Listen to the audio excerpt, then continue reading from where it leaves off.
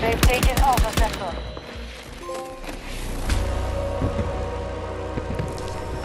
Begin evacuating NOPAD forces.